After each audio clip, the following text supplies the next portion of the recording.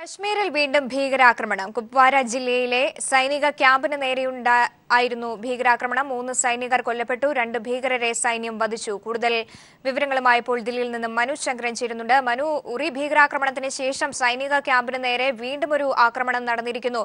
ഇപ്പോഴും ഏറ്റുമുട്ടൽ തുടരുന്ന ഒരു സാഹചര്യം തന്നെയാണോ നിലനിൽക്കുന്നത്? എന്തൊക്കെയാണ് അവിടെ നിന്നുള്ള വിവരങ്ങൾ?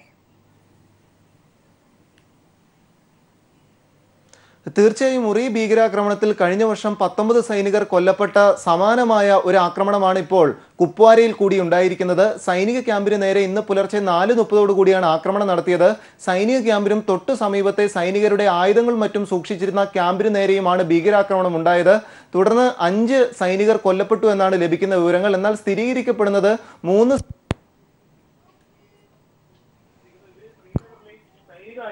കശ്മീരിൽ വീണ്ടും ഭീകരാക്രമണം. കുപ്വാര ജില്ലയിലെ സൈനിക ക്യാമ്പിന് നേരെയാണ് ഭീകരാക്രമണം ഉണ്ടായത് ഇന്ന് പുലർച്ചെയാണ് ഭീകരാക്രമണം ഉണ്ടായത് മൂന്ന് സൈനികർ കൊല്ലപ്പെട്ടു രണ്ട് ഭീകരരെ സൈന്യം വധിച്ചു കഴിഞ്ഞിരിക്കുന്നു. ഇപ്പോഴും ഏറ്റുമുട്ടൽ തുടരുന്ന സാഹചര്യമാണുള്ളത്.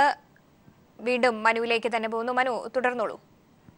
കഴിഞ്ഞ വർഷം മുറിയിലുണ്ടായ ഭീകരാക്രമണത്തിൽ പത്തൊമ്പത് സൈനികർ കൊല്ലപ്പെട്ടിരുന്നു. സമാനമായ ഒരു ആക്രമണമാണ് ഇപ്പോൾ കുപ്വാരയിലെ സൈനിക കേന്ദ്രത്തിന് നേരെ ഉണ്ടായിരിക്കുന്നത്. സൈനിക ക്യാമ്പിനും തൊട്ട് സമീപത്ത് സൈനികരുടെ ആയുധങ്ങൾ മറ്റും സൂക്ഷിച്ചിരുന്ന ക്യാമ്പിന് നേരെയുമാണ് ആക്രമണം ഉണ്ടായിരിക്കുന്നത്. ഇന്ന് പുലർച്ചെ നാല് മുപ്പതോടു കൂടിയായിരുന്നു ആക്രമണം.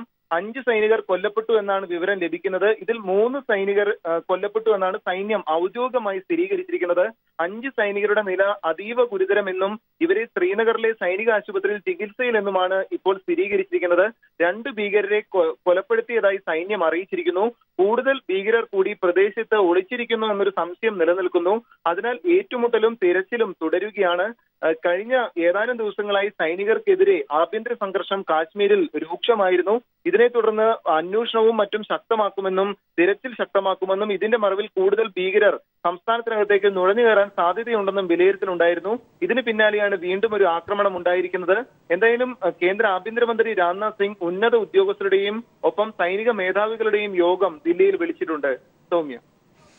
കശ്മീരിൽ കുപ്വാര ജില്ലയിലെ സൈനിക ക്യാമ്പിന് നേരെ ഭീകരാക്രമണം. മനുവാണ് വിവരങ്ങൾ നൽകിയത്.